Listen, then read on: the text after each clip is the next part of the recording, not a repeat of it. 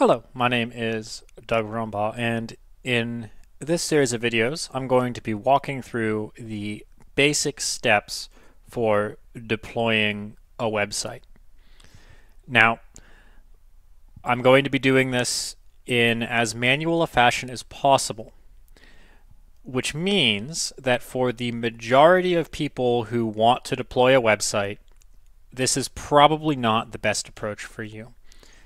What we're going to be doing is purchasing a domain name, setting up our own web server that we manage top to bottom, and then using that to host our website. There are plenty of hosting solutions that do not require you to manage the web server. So if you are not interested in that, this is not the sequence of steps for you. But if you are interested in playing around with managing servers, then you're in the right spot. So, a couple of things that we are going to need. Uh, thing one is we're going to actually need a website, the thing that we want to host. I'm not going to be talking about writing a website here, simply hosting it. So, what I have here is my website that I worked very, very hard on. It is a thing of beauty. And this is the page that we're going to be setting up hosting for. Now, if you are completely unfamiliar with how this works, websites are effectively just text files. They're text files that are written in a special markup language called HTML. So this is the actual HTML code that my web browser here is rendering when it opens up this file.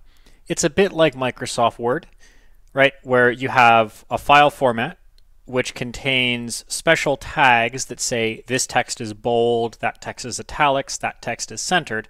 And then when you open that file up inside of Microsoft Word, Microsoft Word renders the text appropriately. A web browser works the same way. These are the tags that tell it how to format the text, and then when it opens up the file, it shows it in that format. So, important thing to understand about how web pages work is that fundamentally what we are doing is we are placing a bunch of files, a bunch of text files that look just like this one, into a directory on a computer somewhere. Now, for if we go and take a look at my website, say Douglas Rumbaugh, pull up my most recent blog post from a little while ago, the way that this works is as follows. If we look up here in the address bar of the web browser, this is what's known as the URL or the URI. It consists of a couple of components. This right here, douglasrumbaugh.com, is the domain name you can think of the domain name as being the address of the computer which contains the files. After the domain name, we have the rest of the URL, post vim as language noun. This is the location of the file that we're looking at on the server identified by the domain name. Does that make sense? We have a computer followed by what file from that computer we want. And so what we are going to be doing here is we are going to be setting up a computer, linking it with a domain name so that the quote unquote the internet knows where that computer is located, and then putting files in the appropriate spot so that we can access them uh, just like this. Uh, there's one other component to this, which is this HTTP, HTTPS at the beginning. Uh, that indicates what's called the protocol.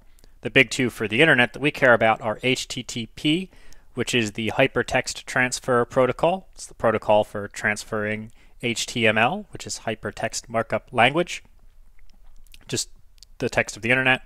And then the S on the end, HTTPS, indicates that it's encrypted. It's an encrypted connection.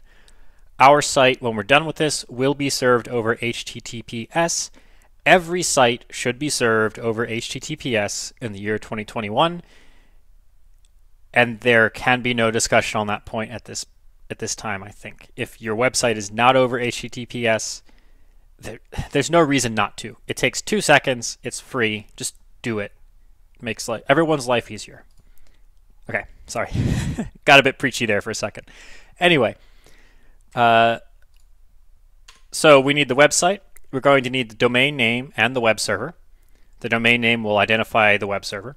And then we're going to need SSH, which is how we are going to be going in and configuring our web server.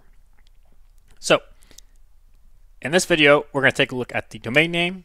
In the next one, we'll take a look at getting a web server and setting it up, and we'll do a few other things from there. Uh, as a side note, if you're watching this when it first releases, I am staggering the release of the videos in this series um, so as not to upset the algorithm and flood everyone's subscription pages, but I am uploading them all at the same time unlisted, so they're all there. There's a playlist linked in the description and also on the end cards at the end of this video, you'll be able to go to the next one. So all the videos are available at once. You just will only be notified of them in a staggered fashion because YouTube. Okay. So domain name, that's the first thing that we need. That's not the website. There are a bunch of different vendors that you can use to register domain names. Namecheap is the one that I typically use. So Namecheap is the one that I will be demoing here. We are going to need to use this in two different spots. Right now to register the domain name, and then later we are going to need it to link the domain name up to our server. So we'll we'll be revisiting this again. But first thing you got to do is figure out the domain name. So if I just do a quick search here for Douglas Rumbaugh, you can see a whole bunch of options come up, some of which are available and some of which are not.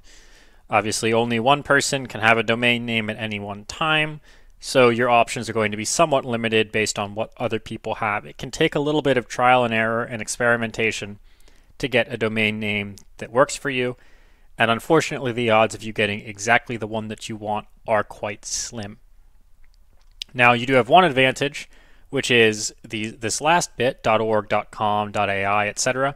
What's called the TLD, the top level domain. Uh, there are a whole bunch of them. So if the specific name that you want is not available in say a .com, there's a good chance it will be available in something. So you can go through and find one that you are happy with. A uh, couple of points to be aware of with respect to choosing a domain name. Some of these top level domains are in higher demand, so to speak, than others, and you will see that reflected in the price. For example, this .ai is quite expensive. These are annual subscriptions, so you have to renew them every year. Additionally, some of these domain top level domains uh, have special restrictions on them. Uh, for example, .ai, .dev, and a couple other things like that, I believe, require you to serve the website over HTTPS if you're going to use them. Our website will be over HTTPS, so that won't be a significant obstacle to you. Just be aware. Uh, there is one moment in this series where we will serve it over HTTP initially. You may have issues with that. I have actually not tried it because I don't own one of those domains. Another thing to be aware of about domain names is that domain names are, as you can see, with the exception of some of these really in-demand ones, relatively inexpensive. And as a result, technical people, for some reason, are quite fond of stealing domain names out from other people. So, if you decide you want a particular domain name, you need to buy that domain name before you tell anybody at all that you are interested in it. I have seen this happen to several people, and I have seen several people do it that I know personally. What people will love to do is over here you say, I want to, or I'm going to set up a website on domain name X. And their first instinct is going to be to search for domain name X, domain name X, and if it's available, buy it just so you can't have it. That's just the way that people are, I guess. So, in the worst case scenario, I know a guy who overheard somebody say he wanted to buy a domain name for his company, bought the domain name before the company could get to it, which was the company's name, and then redirected it to a porn site. I am not making that up, and that stuff happens all the time. So, be proactive, buy the domain before you mention that you're interested in it. All right.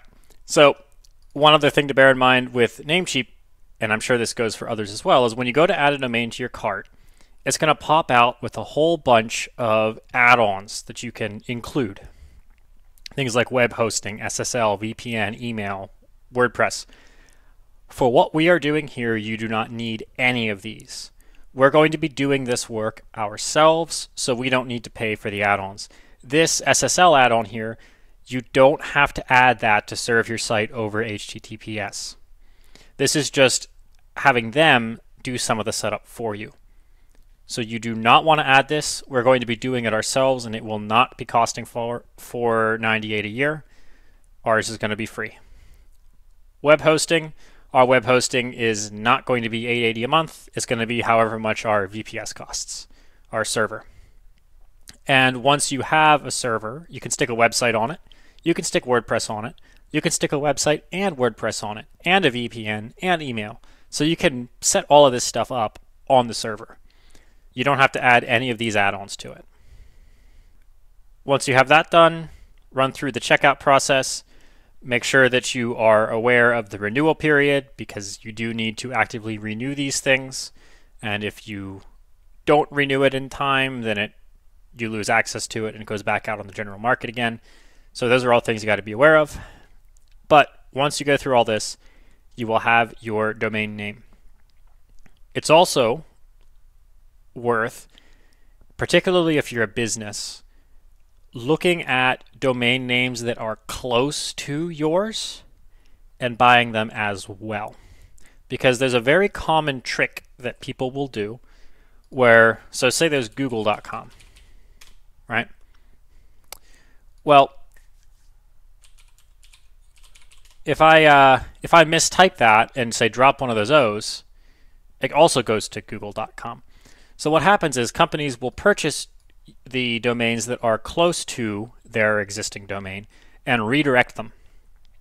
The reason for this is because what some people will do is they'll find a domain like gogl.com that seems likely that someone will accidentally type instead of Google, and then they'll use that at they'll set up some sort of a phishing scheme or something on that site to target Google's customers.